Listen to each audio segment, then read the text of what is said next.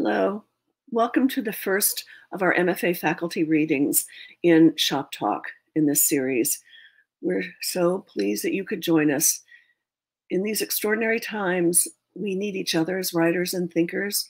We need to keep writing and thinking. We need to keep struggling to keep our voices heard. This, af- this afternoon, you're going to be hearing readings from Genevieve Crane, Amy Hempel, Cornelius Eady, and me. I want to thank Robert Reeves and Carla Cagliotti for the valiant efforts they've made to hold us all together uh, in the various programs that we have.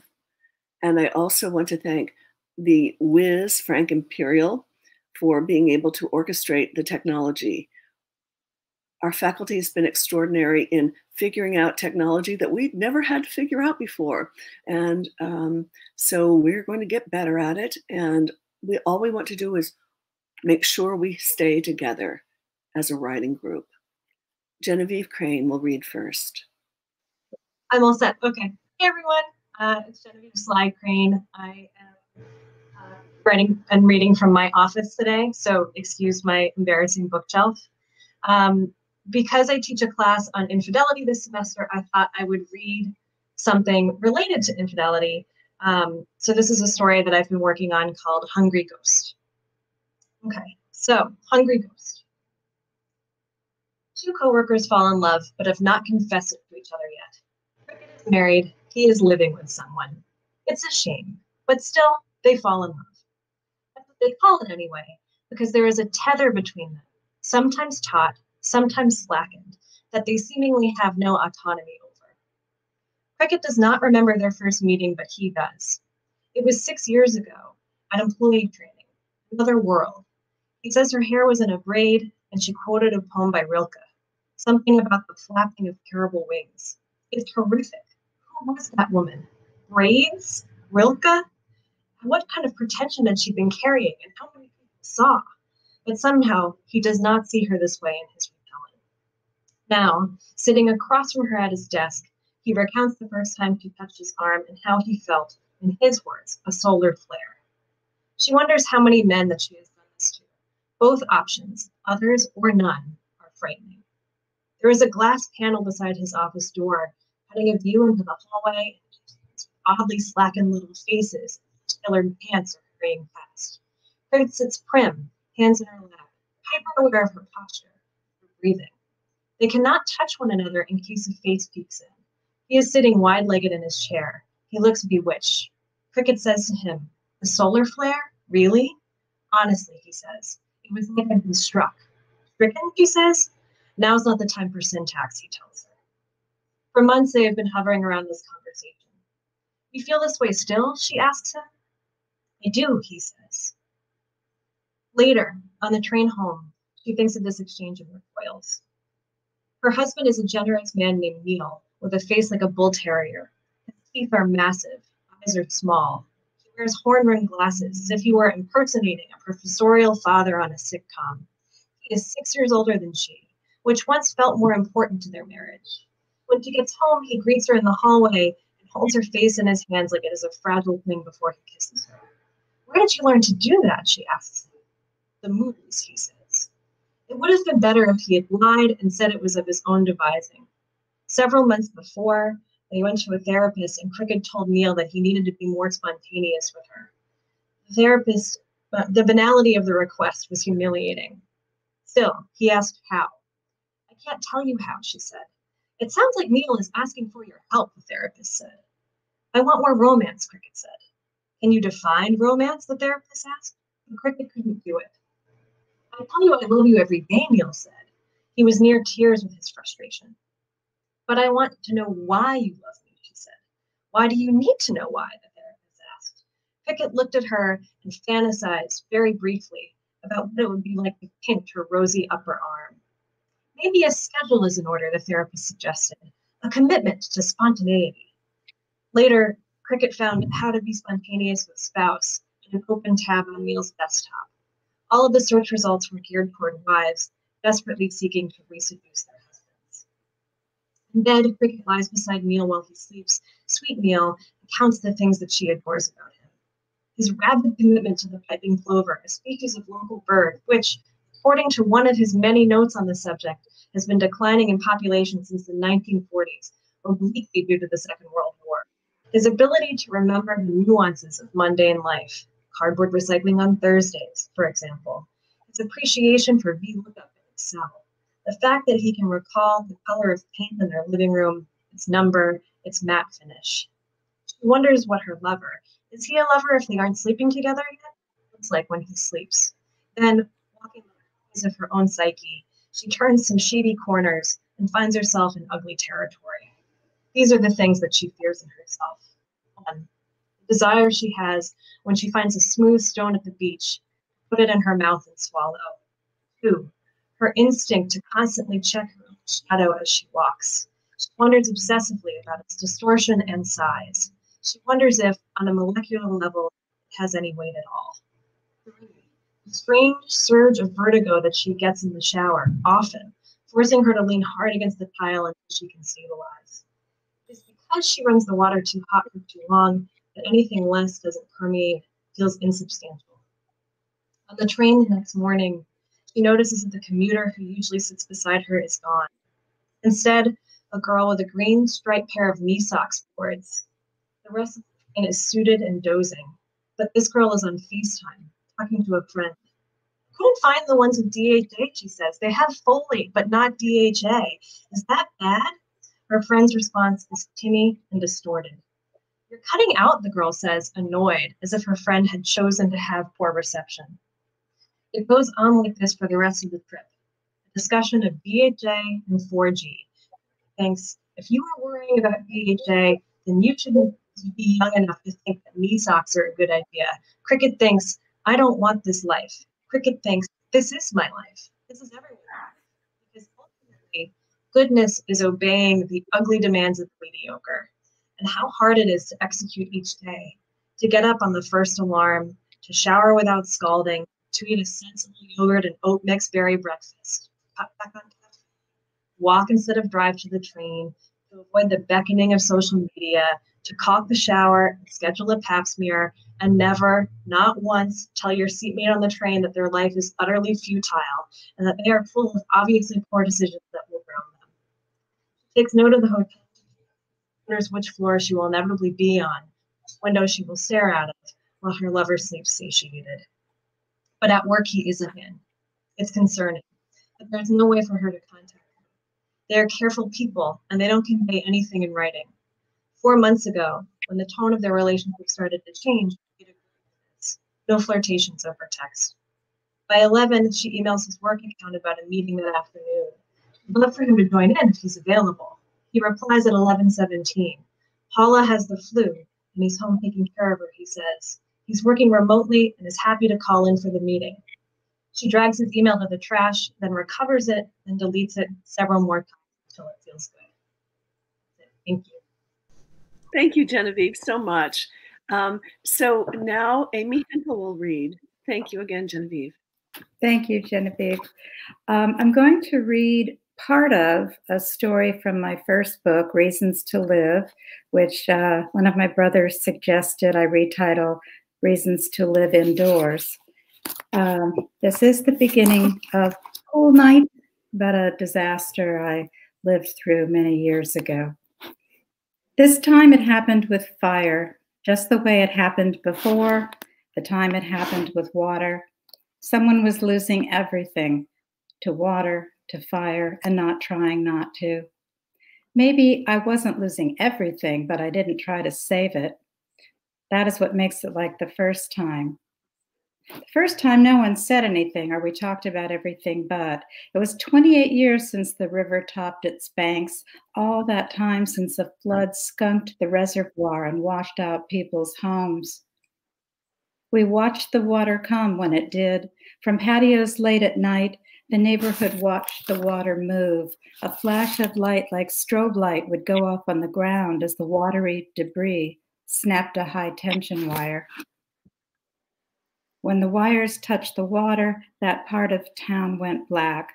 This was the thing we watched the city going dark along the path of the flood. It was not supposed to reach us, and then it did. Evacuation was calm and quick, but during the days of cleanup, it was not what anyone mentioned. We talked about the racehorses loose from Centennial Track, how they had cantered over lawns and stumbled on buried sprinkler heads. Indoors were rolls of wet toilet paper swelling on bathroom rods. We found letters, and water had washed off the ink. We talked about Bunny Winton, who ordered a new living room the first morning after. She said she was happy to see her armchairs go, the padded arms cat scratched down to cotton batting. You open up or you shut down, Bunny said, and went out and got her hair styled new. Film crews photographed the swim team at the club. They were lined up by the snack bar, waiting to get a tetanus shot so they could shovel mud. Bunny made the nightly news. The Vidifont spelled out victim on her chest. They showed her in a tree wrapping washcloths around a branch so that the wet bent wood would not squeak against the roof. Pool night. We were looking at our we were looking at pictures of ourselves and family. The looking was my mother's idea, my mother who was the thoughtful one. Here's what my mother thought of when she heard that Bunny Winton had lost her photograph album. She put me to work on ours. Gray came over to help me, at her invitation, of course. Gray was Bunny's son, the child she could not now watch grow up in snapshots, page after page, until my mother remembered that he grew up in ours. We would pull every picture that included Gray Winton, print up another, and present a new album to his grateful parents. Gray was a junior lifeguard at the pool. He tanned to the color of the cornflakes he ate each morning, and I knew girls who saved his chewed gum. Gray was the only boy excused from working cleanup. That was the week he was under observation. He and my brother were aquazaniacs. They trained with a coach to do slapstick acrobatics off the high dive at the pool. There were six aquazaniacs in 1890 stripes who hurled themselves into the water in syncopated ways. Gray would stand on my brother's shoulders, and together they dove as the 12 foot man. in the pratfall sport of clown diving, the walk around gainer is a popular stunt. This is where you run to the end of the board and then keep on running out in the air, a cartoon, so fast you flip over backward.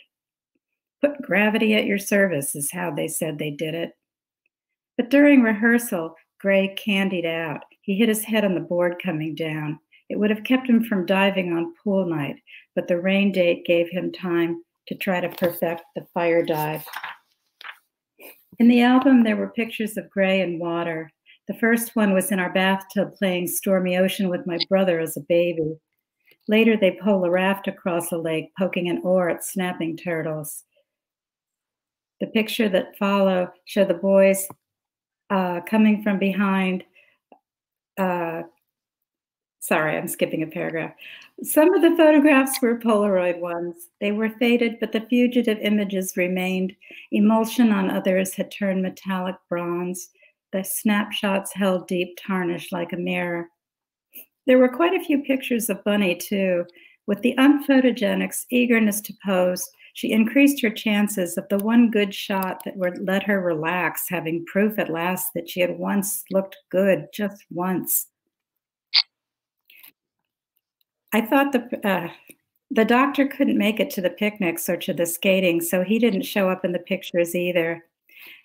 The effect was of him saying after the flood, What I lose will always be lost. His problem is the past, Gray said about his father. He says, Only do things you've done before and liked, whereas me, what's coming is the thing I'm looking out for. I thought the present was the safer bet. We can only die in the future, I thought. Right now, we're always alive. Gray trusted water. He continued to trust it after the flood. He believed it would save him, and he counted on this for the fire dive. I saw him do it once, which is all the times he did it. When the swimming pool was filtered and rechlorinated, he carried a can of gasoline to the high board. He wore a sweatshirt with a hood and matching drawstring pants. He dove into the water with the top and bottoms on, then pulled himself out by the ladder on the side. It was night, and I had my camera ready. He sprinkled his wet clothes with gasoline as though he were watering plants. He said wet cloth would pull the fuel away from his skin. He said to imagine this that the moment he hit the water aflame when he made this dive on pool night, that's when he would have a cannon go off. Then he struck a lighter and he lit himself up good. Thank you. Amy, extraordinary. Thank you so much. Thank you. And now Cornelius Eady is going to be reading. Thank you. Cornelius? Okay. Here we go. Um, I'm actually going to just read a few poems from a cycle I've been working on uh, about Phillis Wheatley.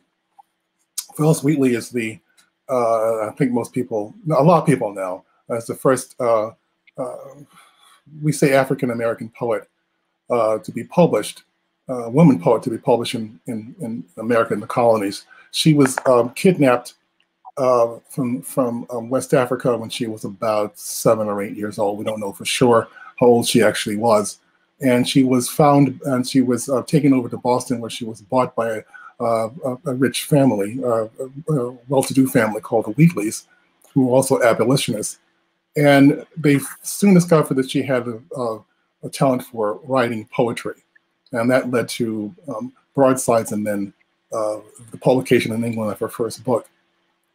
So for, for me, the, the, the fascination with Wheatley is, uh, of course, that she's she's not only the, the first uh, uh, what we could call consider African American to to publish a full length book of poetry, but but also um, that uh, one of her one of her poems I think um, really sort of illustrates the idea of of what has been the African American aesthetic in response to the African American aesthetic in the way we respond to it. Uh, but I was really trying to figure out a way to make to, to, to talk about the uh, get the poems I think in some ways sort of figure out the the uh, what it must have felt like for her to to to lose one language to gain another, um, and then learn how to turn that into poetry. So let me read. This is the start. I'm not going to read. To read a few poems. The, the, uh, the but you need to know this one poem by Wheatley, and this is called "Being Brought from Africa to America." And I will some. I also you'll hear references to it uh, in the other poems of mine. So on being brought from Africa to America from, by Phillis Wheatley. Twas mercy brought me from my pagan land, taught my benighted soul to understand that there's a God, that there's a Savior too. Whence I redemption neither sought nor knew. Some view our sable race with scornful eye. Their color is a diabolic dye. Remember, Christians, Negroes, black as Cain, may be refined and join the angelic train. And I was in a reading um, with, uh, in, in, Washington State years ago, and I was talking to an African uh, African American scholar, and she she brought up two things. The one that Wheatley, even though she doesn't really talk about um, outright about, about her experience of being captured, she does sprinkle it through her book, uh, and and then uh, brought up an interesting dilemma which I had never thought of until that moment, was is that Wheatley's book was published in, in England. She went over to England with one of the Wheatley family to have the book published. The moment that she stepped off the off the off the boat and onto English soil, she was she was technically free. She didn't have to go back. Uh, but but and she, and she was wined and dined. Uh, she was a celebrity over, over in London. Um, and uh, but when the word came back that one of the Wheatley family was, was sick, she got back on the boat and went back uh, to Boston. So why does she do that? so, so uh, these those two things are are in are in this poem, um, Mercy. Um, this is to Phillis Wheatley's mother, and again another snatch of Wheatley's uh, own poetry uh, that actually talks about this. Uh, her time in uh, as being a slave, one of the few references she does. I, young in life, by seemingly cruel fate, was snatched from Afric's fancied happy seat. What pangs excruciating must molest, what sorrows labor in my parents' breasts, Phillis Wheatley. To Phillis Wheatley's mother, they say your daughter is a rare orchid. She lives in a fancy house on a high street. They named her after the ship which bore her, wild, they claim, across the waves. They say your daughter is a cuckoo's egg. She walks the street in English garb. She did not fill the shark's belly. She does not sweep, hoe, or breed. She stood just once upon the block. Your daughter is exotic as white pepper. She reads, she travels, and when she dreams, a clean head kisses a starched pillow. She can cradle the owner's spell book between her dark hands. She has learned to sing in a robber's tongue. Your daughter's quill make patriots blink. Her black skin, spooled parchment, poem, bill of sale. God has given her a kingdom you can hardly pronounce. Sometimes in her famous book, a line will slip, and she is returned unrefined before Mrs. Wheatley scooped the sickly child, fed her broth and bound books. Alas, my dusky mother, she writes, if only she knew. The first note of mercy is pain.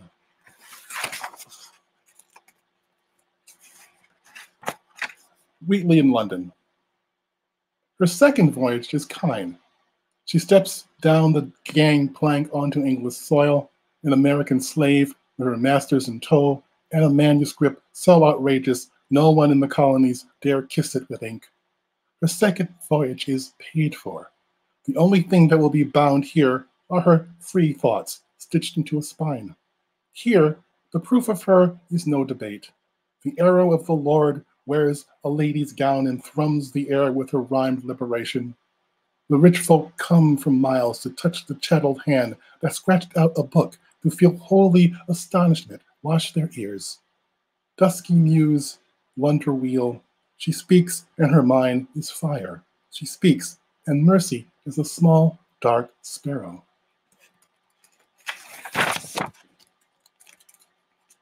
Lexicon. The good Lord puts new sounds in the heathen's mouth. Holy is a word that burns the fingers as you cradle the book a stern beard that plucks a child from her mother, a law that names you chattel, then blesses your soul. Turn the page and read a story about the skin you wear and what that mark earns you. Say faith, a veil of questions you get to pull back perhaps with your last breath. Roll it on your tongue, sickly girl. And then there's mercy. When you stood, shivering, on the Boston block, draped only in a dirty carpet. You had no words for what came towards you out of the wronged air. How your mind would lick that word like butter once you found it. Translation. There's an epigraph by June Jordan. Come to this country a slave, and how should you sing? June Jordan. How do you say this in Senegalese? My mother is gone. I dream my father calls my name, but I cannot feel his arms. The ship is a crazy beast. These irons cut my legs, and the air reeks of shit and piss. I am sick and thinning from hunger. What happens to me in this strange place? What is the tongue of this hostile tribe? New birds, cold air, narrow streets, hard and uneven to walk slop, and thirst on the tongue.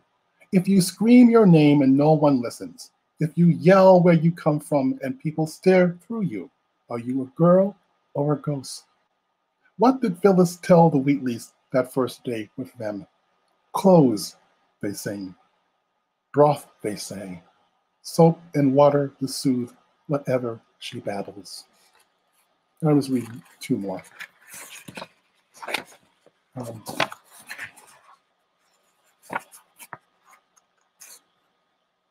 benighted. In order to learn this word, the slave girl has to shake off her pagan tongue. She is ape to her owner's hearing. They are an alphabet, a cup of noise poured into her dark ear. Apples don't know they have a name, have a taste, crisp or tart, a way to describe how it feels when white teeth break the skin. The beagle never knows what their owner calls his breed, only his master's whistle. The Bible will tell her. There was a young dark girl. Before she found mercy, hoof, drum, and mud was her maiden name. The hatchling doesn't know what to call its egg tooth, why the first word of her new world is called Phillis.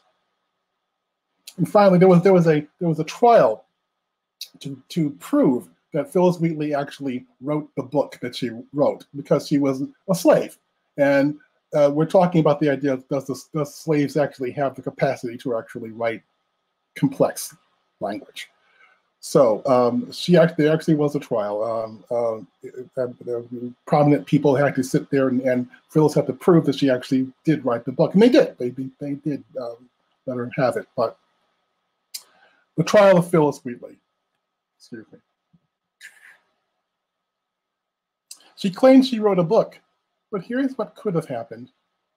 In order to make a point, to move things along, a rich white man in pre revolutionary Boston decides to raise some abolitionist sand by pretending to be a young black female slave, burning with the good word, bristling with Alexander Pope.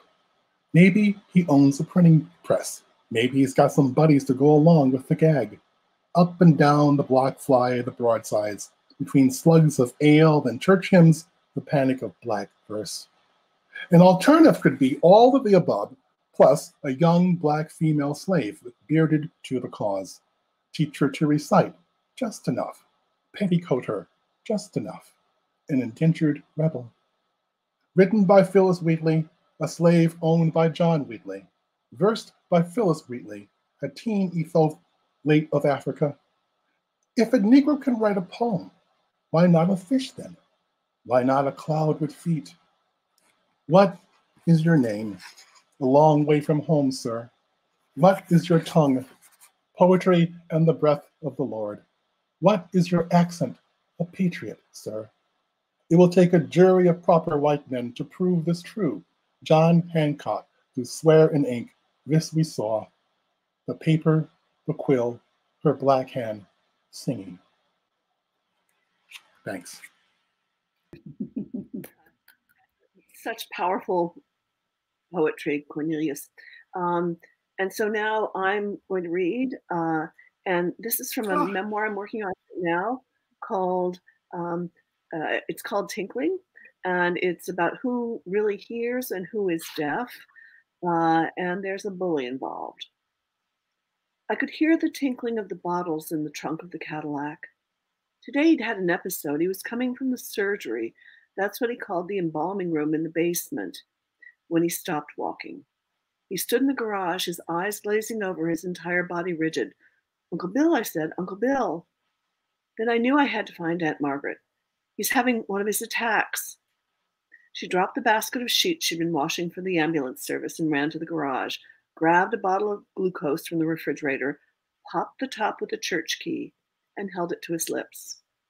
He shook his head back and forth, the liquid trickling out of the side of his mouth, eyes squeezed shut as he fought her. Slowly he came back to life, blinking, his body softening. He pushed her hands away. That's enough, he said. She stood watching him for a few minutes, then went to the funeral home kitchen to get a sandwich. He concentrated on his chewing as his breathing became more regular. Okay, let's go deliver that book to the Sanders house, he told me. That evening, Aunt Margaret pulled the rum and syrup from the refrigerator where she kept it right next to her mink wrap in the glass jar. I'm so dry, Uncle Bill said, and popped yet another Blatz with the church key kept in the drawer next to his den chair. During the evening, Aunt Margaret sat at a kitchen bench in, in the house, brushing my hair. Oh, I'd always wanted a baby. We just could never have one. We tried and tried.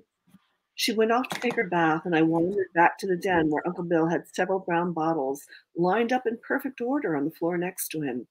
Want a sip? He winked at me. I shook my head no. He finished another bottle. Well, I guess it's time to take our ride. He put the bottles into the crate. He was still wearing his suit and starched white shirt, although he'd taken off his tie. He and I walked outside where the Indiana humidity hurt my sunburned arms. You're my sugar, he said, putting the crate into the car's trunk. Every other night, we'd drive through the dark to a different place, way, way out in the countryside, the bottles tinkling. I listened to the bottles crashing apart as he threw them into a trash heap. Well, that's that, Sugar, he said, getting behind the wheel of the car. He put a ginger mint into his mouth. Want one? Thank you for joining us. Now, if anybody has questions, Frank uh, can post them on the screen. Uh,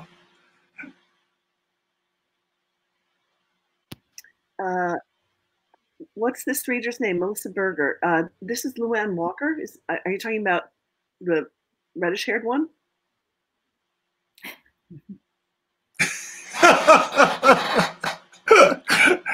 uh, uh. Thank you, Susie, for the nice comment. Really enjoyed that. Yay! Uh, uh, uh. Anybody else?